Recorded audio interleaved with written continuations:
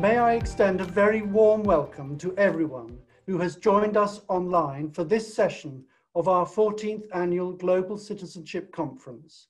My name is Hugh Morshead and I am the head of government advisory at Henley and Partners, the world's leading residence and citizenship advisory firm.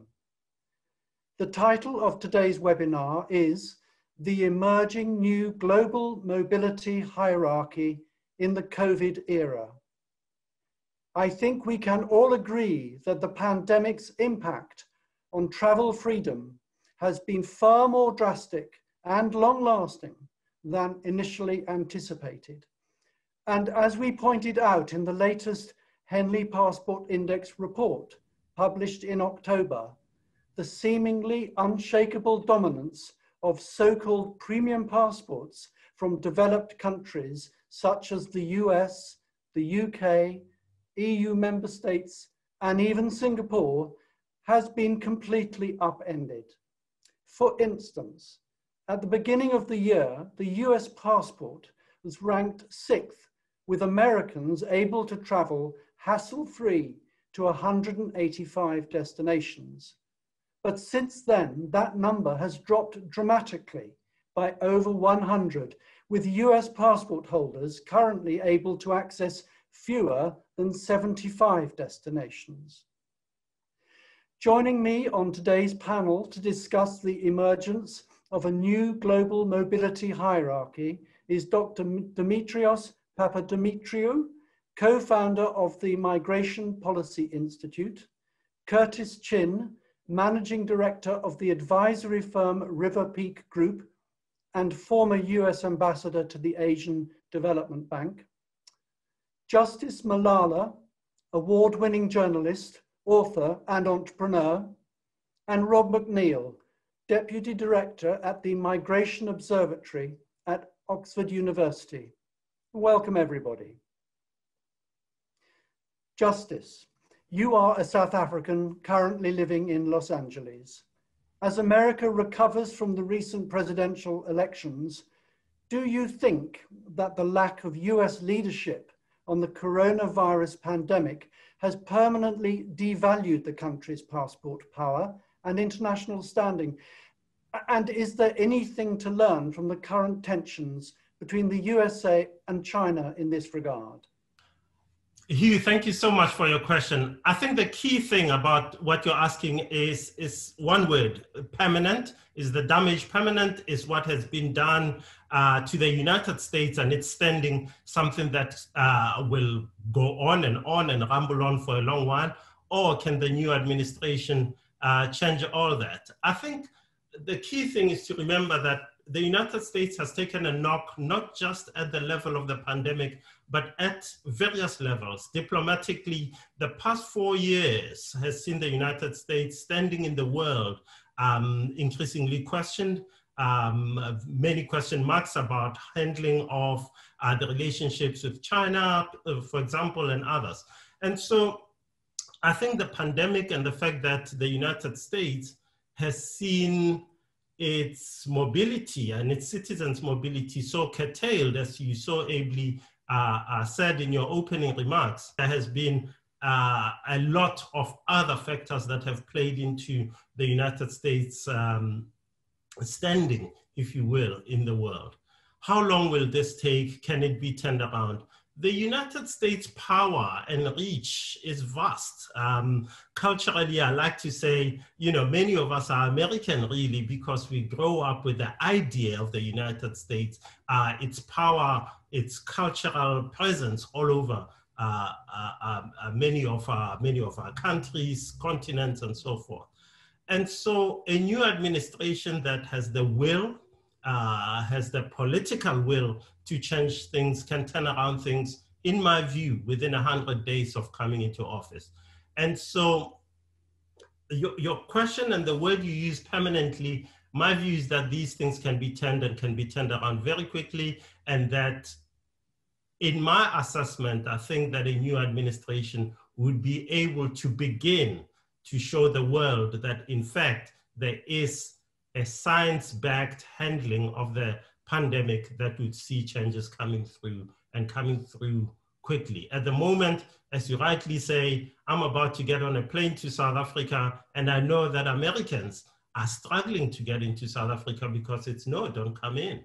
And so these are some of the factors that a new administration have to have to work with.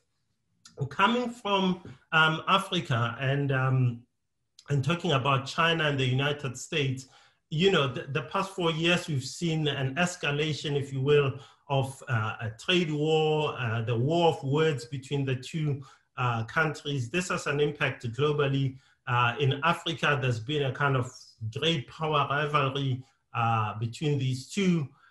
I think that a, as things change, as you say, coming out of the, the presidential election, there may be a sort of detente, a sort of uh, thawing of relations. This is good for uh, continents like Africa, where uh, hopefully a, a buoyant Chinese economy will lead to demand for African raw min uh, minerals and so forth. And, and so a thawing of relations might lead to might lead to things getting relatively better than they have been uh, these past four years, uh, both for the United States and I think for uh, continents like Africa and, and elsewhere. Thank you. Uh, thank you very much indeed. Demetrios, you are currently based in Washington. How do you think the massive resurgence of COVID-19 across much of the world and its likely subsequent waves will affect decisions about borders and travel? Thank you very much, Hugh. It's a pleasure to be part of this um, uh, extremely good panel, and I'm looking forward to listening to the rest of our colleagues around this virtual table. Um, I think that you have it right um, because COVID 19 is not anywhere near anywhere near having run its course. Um, I think that we're focusing on this massive second wave, but I think that we ought to think much harder than that because there will be subsequent waves. I think we're not going to be rid of this, um, I guess, virus. Um, even if a vaccine or several vaccines become available until sometime in the second half of next year, and then there are going to be all sorts of unknowns about the efficacy of the vaccine, how long vaccination really protect you from, and the possibility of the virus mutating. I mean, we all know that uh, the Danes, Denmark, has decided to call kill its, its entire mink population of 15 million minks because the virus has mutated. So we're not out of anywhere near out of the woods, and we don't really even know where the woods the woods end.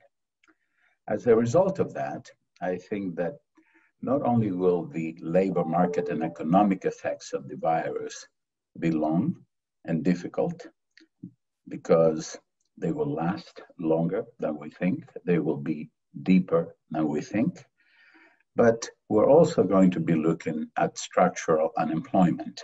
Now, I know that most of these issues relate to migration, but migration is one of the things that we're talking about because mobility includes both travel and migration. So, both migration and travel will indeed be unsettled for most of the next year, but also for the year or two or three after that. We all are going to have to make adjustments to this. Um, some of these adjustments will be permanent. For instance, working virtually, as we all know around this table, is going to be fairly permanent, permanent for many people. Meeting virtually will cut into business travel, which actually keeps the food, entertainment, and travel industry afloat. So these are going to be all difficult. But to, more to the point of the question, I think that anything that creates greater opportunities for travel, we'll have to sort of break through a couple of carriers, the most important of which is trust. Will people continue to trust their government that they have things under control? Will they trust taking vaccines? Do they trust that governments, even after we seem to be in control of the virus, can stop the further spread of the virus. And these are all unknowns. But looking at my crystal ball, I think that borders will be reopening, but the reopening is going to be very uneven and intermittent. Uh, I see lots of backs and forths. You know, if we and if we see that opening a border increases the incidence of infection, then I suspect governments may decide to sort of shut it down again selectively. And this is important for us to understand because selectivity, selective, being selective in mobility is really something that we can all anticipate. I'm certain, fairly certain about it. And that selectivity includes whom to allow to travel, from where. Because clearly uh, at least the US government, but I suspect most of the Europe, European governments will have, let's say, entire states, by that I mean countries, on their not travel list until essentially there is some equilibrium between infection rates and control of the virus between, uh, let's say, the destination and, of course, the place of origin. I also think that the requirements prior to allowing one to get on a carrier even are going to really become much tougher. And some of those will continue to follow a traveler at destination. And before we're ready to actually do that, we're going to have to have a whole raft of adjustments that we make at, let's say, airports. And I want to focus on airports and seaports because in cases like the United States with the long border, you know, south and north, only cooperation between our northern and southern neighbors can try to control this whole thing. Among the kinds of adjustments that will be required, we're going to have to build new infrastructure. We're hardly even beginning to do that because we know that there are many functions that governments make or do at the border not only immigration, but also, you know, making certain that customs officials are involved, all sorts of possible threats need to be kept out. And now we're going to have to accommodate essentially um, new, if you will, administrations or, you know, new bureaucracies that specifically focus on the virus. Um, and of course, um, we have to become confident that the testing that we do is indeed reliable. I don't mean 97% reliable, I mean 99, 100% reliable. It goes back to the earlier point I made about trust. And we're going to have to create areas in airports for quarantining in place. This idea that somehow, you know, you will order and passenger to quarantine at their homes and all that doesn't work for a vast and uncoordinated country like the United States. The, the efficacy of vaccines is also going to be a big issue, as I uh, noted earlier. The, fourth, the third thing is costs. Who will bear the costs of all this? Uh, clearly, the government is not going to pay for it, at least not beyond a very, very short initial period, which means that the airlines will have to do that, which means that passengers will have to do that. If you consider that, it could very well mean that not everybody will be able to travel with the same ease and efficiency and relatively low costs as we did before this pandemic. And finally, we're going to have to be much more trusting, a different kind of trust, of vaccine records, however digitized they are, and the reliability of these records. Thank you. Thank you very much indeed. Curtis, over to you in Virginia. Usually you would be based in Singapore or Thailand, given your work with the Milken Institute.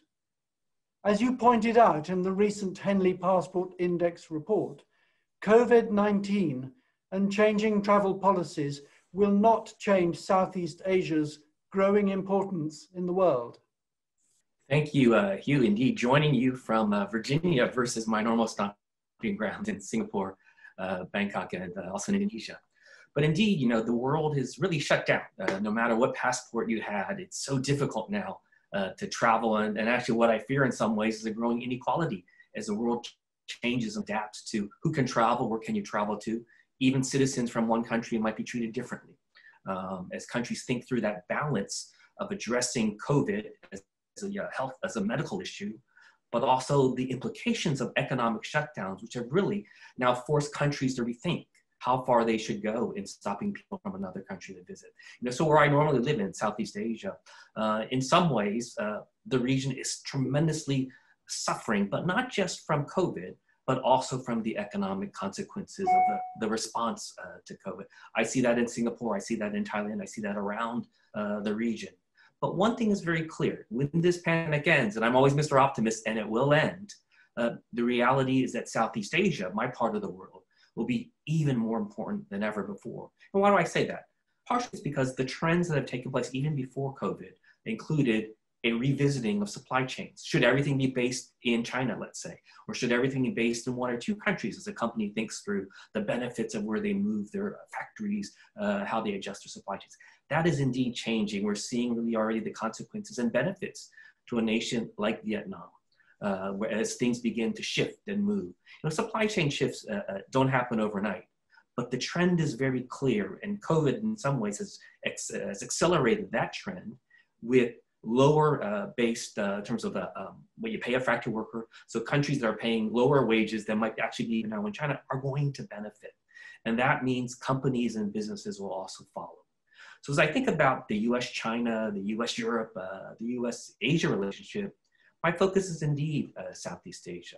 Uh, for those who haven't been to our part of the world, do come visit. You know, there's something called the Association of Southeast Asian Nations, ASEAN. Um, so that's 10 Southeast nations. You know, I wrote them down in case I forget them, but they are uh, Brunei, Cambodia, Indonesia, Laos, Malaysia, Myanmar, Burma, uh, the Philippines, Singapore, Thailand, and Vietnam. You know, some countries, people will know Thailand. But there are other countries, smaller countries like Laos, like Brunei, that indeed are going to benefit once COVID is past us, uh, as people rethink through where they should place their businesses, where they should uh, visit. You know, often people are surprised when I tell them there's more US investment in these 10 nations of ASEAN collectively than there is in those countries that you always hear about Brazil, Russia, India, China. Add them all up, and there's still less US investment in those four countries than there are in all uh, of ASEAN. So when I look at the numbers, you know, the data that I had most recently, some $2.8 trillion uh, in GDP for a region uh, of 650 million people. So you bring them all together, that's really uh, the most people in the world except for uh, China and India. So as we go forward and think through the regions of the world that will attract investment, that will attract uh, visitors, let's not rule out Southeast Asia. You know, even before COVID, for those who are focused more on leisure travel, versus business travel. Bangkok often ranks number one in the world for the number of overnight international visitors. It's usually Bangkok uh, and London. You know, they're, they're kind of duking it out. Uh, and so clearly, uh, what I'm seeing also just talking to business people, talking to friends, is once COVID is over, we might well see revenge travel, where people who've been cooped up at home, you know, no matter who's the president, no matter who's leading a country, uh, uh, no matter what their business, they're going to think through, now that I can travel, where do I want to go? certainly domestic travel uh, will spike. Uh, we're seeing countries already trying to think through, given the lockdowns, how do we increase domestic travel, like a place like Thailand? How do we get people to fly around Thailand? But certainly international travel will also spike once this pandemic is past us as people think through about missed vacations, missed business meetings.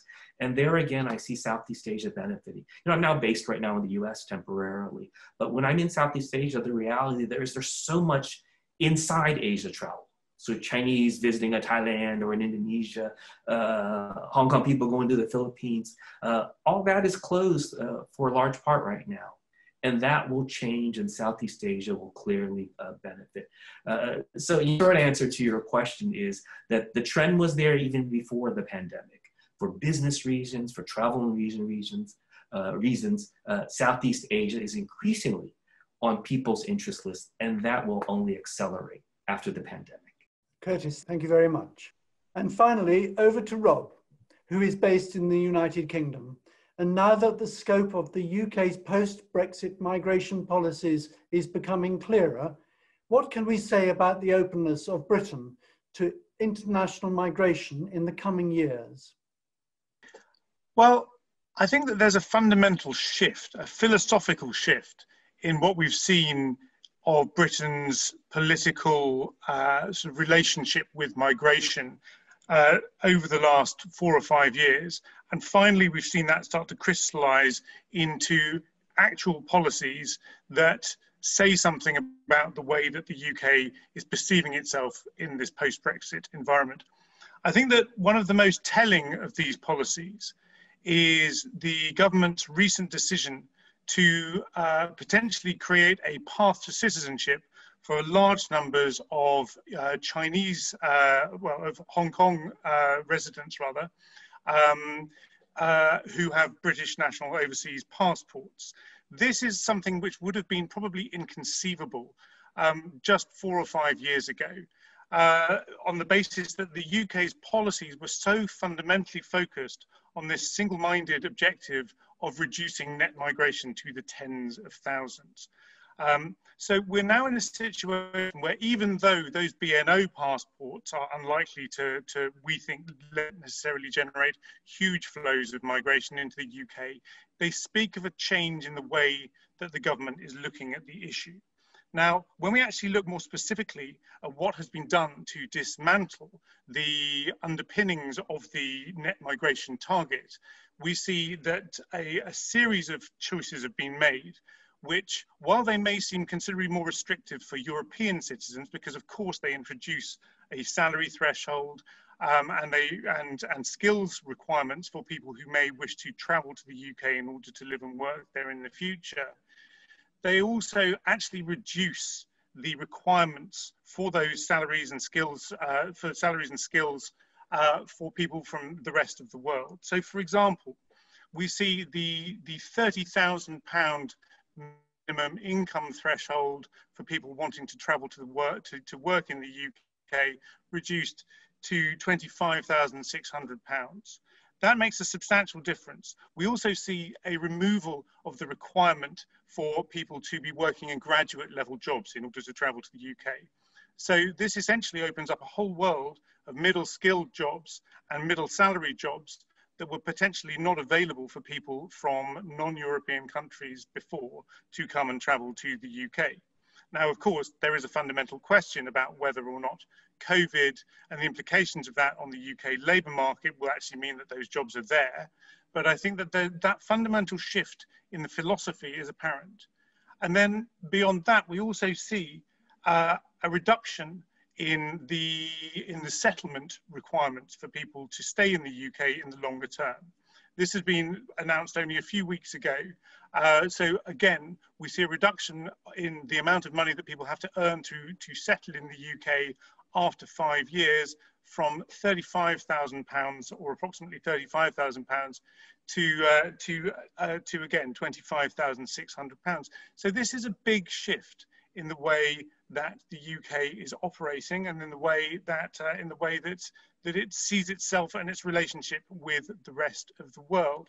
And I think that this is something quite interesting because we saw with the Brexit referendum uh, uh, policies which were broadly seen to be extremely anti-migration being, being at the fore. People, people standing on a, on a platform of taking back control and reducing migration. And in fact, what we see instead is a much greater openness apart from to those people from the EU. Um, and I think that that speaks to a sense within the British public that there is that, that, that, that, having left the EU, we do have a, an ability to manage numbers in a way that we never did before. or not never did, but that we did that we hadn't done since uh, since free movement became uh, feasible within the EU uh, for UK citizens and for EU citizens to the UK. Thank you very much. Justice, perhaps the greatest surprise of the COVID-19 pandemic was Africa's defiance, if you will, of the early doom and gloom predictions about the devastating spread of the virus. Could this mark the beginnings of an easing of the onerous restrictions on African mobility outside the continent? Thank you, Hugh. Um, uh, yes, I, I think that, what happened particularly uh, with this uh, pandemic was took the world by surprise. There was an expectation that uh, the brunt of the pandemic would be borne by African uh, countries. We haven't seen that come through. And, um, and, you know, one hopes that this momentum is kept and the pandemic doesn't uh, intensify, uh, as some of the other panelists have pointed out.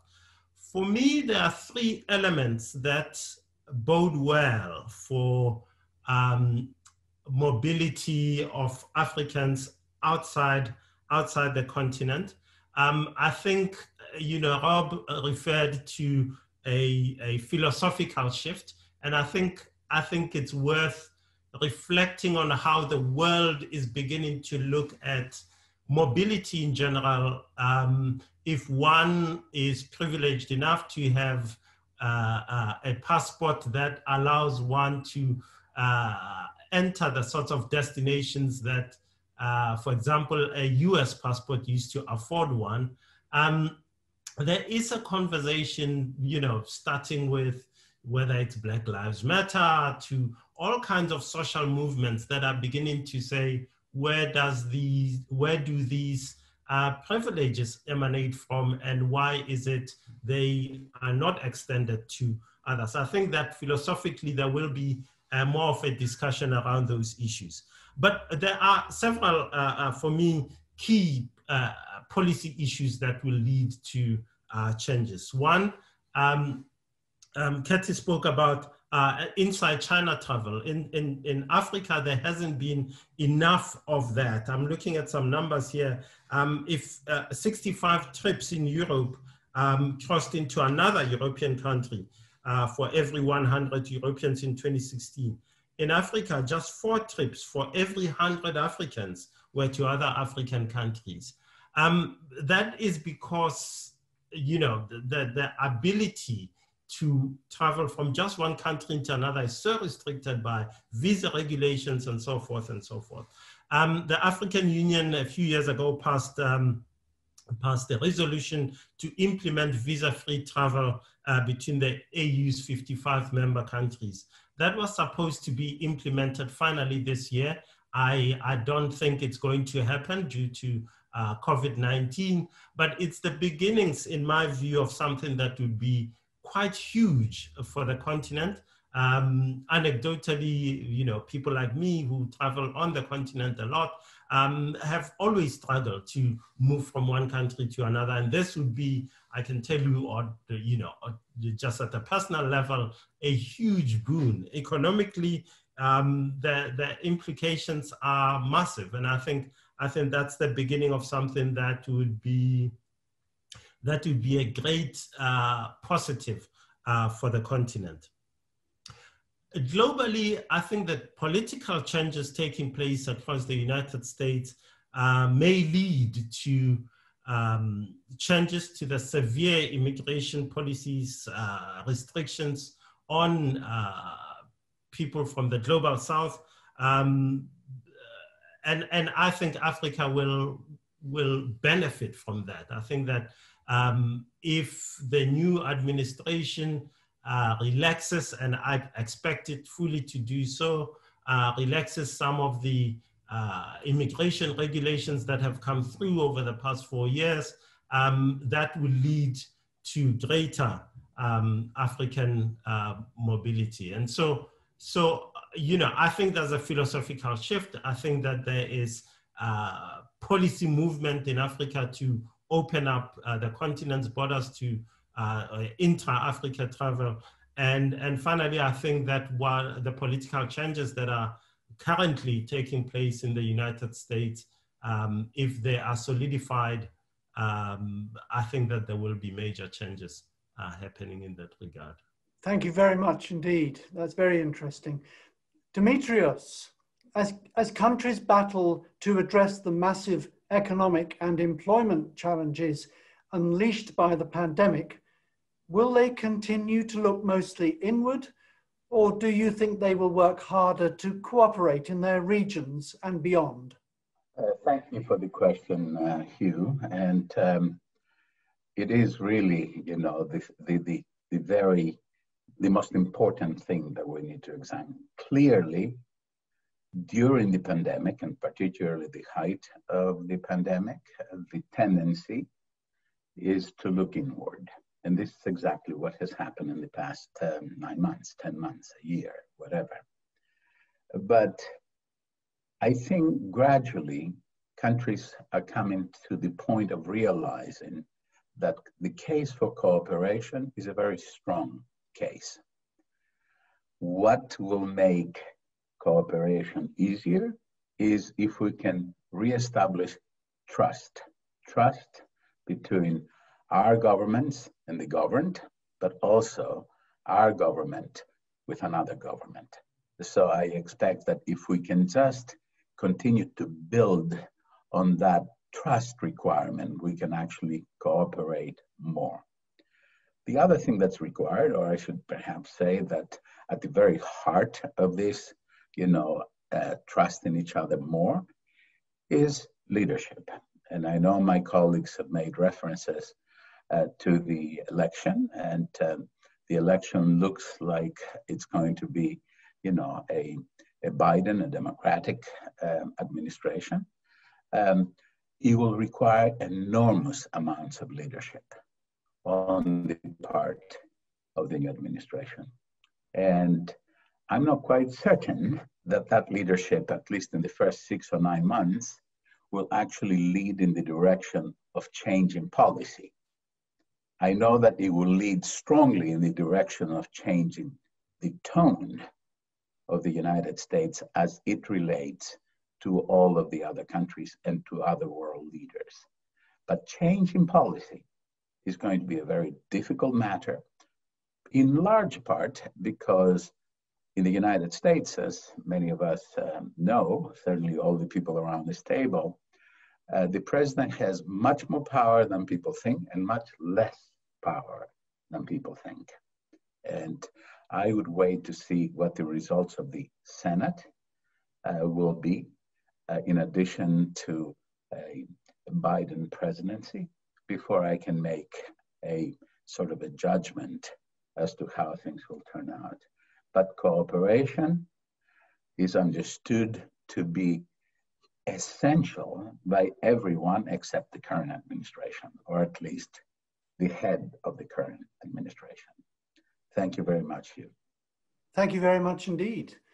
Curtis, Singapore has been sitting comfortably in the top two positions on the Henley Passport Index for some time. Considering pandemic-related travel bans, Singaporeans can currently access fewer than 80 destinations. What do you think are some of the lessons learned from one of the world's true city-states, which is so reliant on its international connections.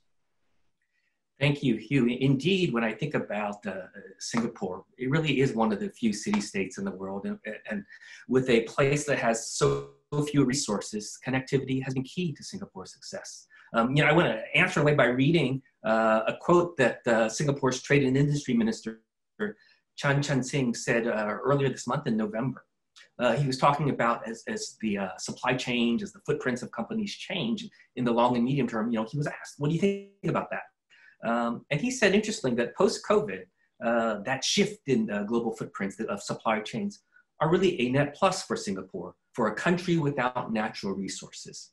Chan added that this will allows the city-state to further transcend our geographical size and geographical location. The question, he said, is really how connected we are, Singaporeans, Singapore, with the rest of the world. And so, you know, I wanted to share that uh, quote from the minister who may well go on to bigger things in Singapore uh, because it underscores that what's happening is also a redefinition of global mobility. You know, we all talk about passports, and if you have a US passport or Singapore passport traditionally, and one day soon again, it was so easy to travel. But clearly, the consequences of COVID 19 and the pandemic has kind of trumped that passport. It's really how well your, your country's leadership, others have talked about leadership, has handled uh, COVID in your own uh, country. I was struck even uh, right now by uh, earlier this month in November, China, which has done relatively a good job, but starkly in terms of how it's dealt with it versus how a place like a Taiwan or a New Zealand or South Korea has dealt with the pandemic. Uh, but China, in dealing starkly and sharply with this, most recently has now just banned, I think, citizens from the UK, from Belgium, from India, uh, from the Philippines. Even though early on, China was one of the first to say these travel bans aren't right, uh, uh it's racist. and so I think the reality is that we can look at the past rhetoric uh, facing the reality of today as countries need to do what is right for their own citizens. So Singapore too is dealing with that and struggling with that. But for me, one of the great lessons of Singapore, this great uh, uh city-state, where I'm often based, uh, as you noted with the Milken Institute, is the notion of innovation, of entrepreneurship and creativity. And that's how Singapore has also handled this. You know, Singapore, like many countries, had its own rough patches early on when they didn't pay enough attention to the spread of COVID in dormitories where migrant workers uh, uh, were living. But Singapore has addressed that. And in addressing that, they are moving forward. And it's allowed, actually, right now, the creation of some of what we're calling travel corridors that maybe Singapore, Brunei, Singapore, Hong Kong, uh, countries, uh, these countries, these places, their citizens now will be able to more easily travel between these two. And I see that even at my own work at the Milken Institute. You know, this December we're having uh, our big annual convening, what we call an Asia Summit, which was delayed from earlier this year to COVID. That's taking place now in December, but we're traditionally we've had thousands of people fly into Singapore. We have had to adjust. And here again, I see a lesson from Singapore. We've been able to adjust because of a great partnership with the Singapore government. So, in partnership with the Singapore Monetary Authority, we're still doing our Asia Summit. Um, and it won't be like this panel, simply a virtual uh, panel. Singapore is again being creative, paying attention to both health and the economy. And it's going to be more of a hybrid uh, conference. So clearly uh, virtual, a lot of sessions virtually, but taking advantage of these new developments with travel corridors. We're having people fly in uh, from elsewhere in the region, a limited number, and they again are going to have to have strict guidance to address the health issue but it shows how Singapore has been innovative. And kind of the fun part for this conference, it's not just virtual, uh, it's not just in person, but I think Singapore is leading the way. We're working with holograms. So people are coming in by hologram. Let's see how that plays out. But you think about all these different ways people can show up at an event, in person, virtual, or now by hologram. It's all about creativity, innovation, piloting things to figure out what then will we move to a larger scale and move forward. So when I say to the world, you know, we're all, you know, hunkering down in our own homes. I mean, I think all of us on this hill are very blessed to be able to do so. So many people are struggling in this world. How do we help them? How do we reach out while doing things like these big events where people used to uh, fly together? How do we involve people when traditionally a place like it isn't just these conferences, but the add-ons, the businesses and the hotel industries, the restaurants also would have benefited. So I think as we think through how we move forward, we need to also redefine global mobility. It won't just be like the old days, and it won't be just a few places. We need to be creative, and that's where, again, I look to a place uh, like Singapore. And indeed, sometimes you say, you know, when you've got nothing, when you've got no resources, you've got to be innovative. And I'm looking forward to seeing more of that from Singapore, but also from smaller places, the Hong Kongs, the Taiwans of the world I think a lot of countries can learn from each other. I think everyone on this panel, I think, is looking forward to a, a world where there's more cooperation and coming together. And how that happens will be with or without passports is the reality. But again, I think to your very uh, uh, important question about lessons learned from Singapore, Singapore has much to offer the world. But then we each need to think through, will that really work in my country? You know, if Singapore is doing great things, but Singapore's 5 million people, right? A place with 7 million people, 10 million people how can we take what they're doing and bring it back to our own uh, countries? Thank you very much indeed for that uh, excellent comment. And thank you all for your valuable time and contribution to this fascinating debate. And thanks also to all our guests who have joined us online. Please join us again on Thursday, the 17th of November at 9.30 GMT for the next session of our 14th annual Global Citizenship Conference, which will focus on the concept of sovereign equity, a phrase coined by Henley and Partners to describe the unique capacity of investment migration to provide a liquidity injection of debt-free capital that can be used to buffer the impact of the corona pandemic and create significant societal value. Thank you.